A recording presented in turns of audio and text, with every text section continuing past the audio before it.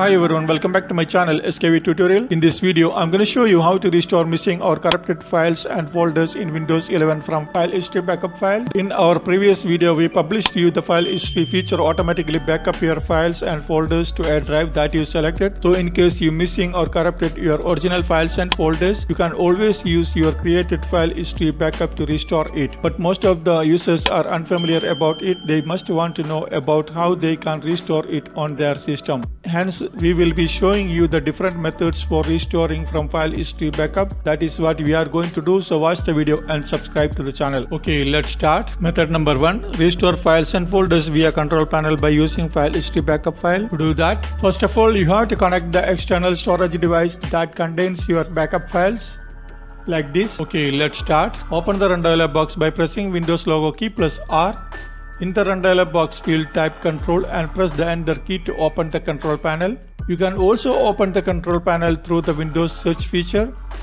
In the control panel, change the view option to get the old control panel settings. Under control panel settings, now click on the file history setting. In the file history settings, here in the left side additional file history settings, you can restore files and folders by clicking on the restore personal files you can see here. Click on it, then you will see this kind of file history window. This will displace all the folders that have been backed up by file history. You can see here. Now you can select now you can select the folder you want. Select the folder and then click the green button at the bottom of the window to restore the folder like this. Then Windows automatically restore the folder to its previous location like this you can see here. Next if you need only a file from the folder then double click the folder to view it and like this. And make sure the file you want then select the file and then click the green button at the bottom of the window to restore it like this. Then windows automatically restore file to its previous location you can see here. That's it. Next method number two restore files and folders via windows settings by using file history backup file. To do that open the windows settings by pressing windows logo key plus i. On the windows settings page click on the update and security option. On the update and security settings in the left pan select the backup option and then go to right pan. Here under toggle button you will see more options link. Click on it.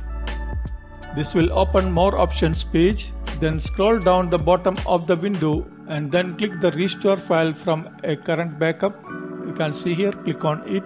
This will display all the folders that have been backed up by file history. You can see here. Now you can select the folder you want.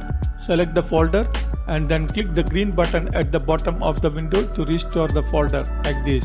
Then Windows automatically restore folder to its previous location. You can see here. That's it. Next if you need only a file from the folder, then double click the folder to view it like this and make sure the file you want. Then select the file and then click the green button at the bottom of the window to restore it like this. Then Windows automatically restore file to its previous location. You can see here, that's it. Next method number 3, restore files and folders via restore previous version by using file history backup file. To do that, right click on the folder you want, then from the context menu, select Restore Previous Versions. Then you will see this kind of properties window.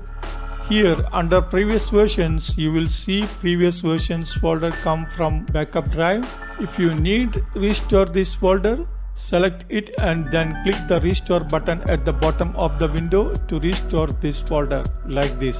Then Windows automatically restore folder to its previous location. That's it. Next, if you need only a file from the folder, then click the drop down button and then select open in file history. This will display selected folder and files that have been backed up by file history.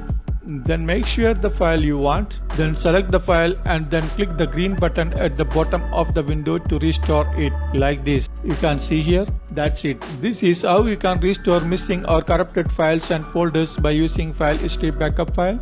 Okay, that's it. I hope this video helps you. Thanks for watching and supporting. Please don't forget to hit like and subscribe. Your contribution is more confidence to us. If you have any issues, so please let me know in the comment section below. Please don't forget to subscribe my channel for more useful videos. Once again, thanks for watching and supporting. See you in next video. Bye. Take care.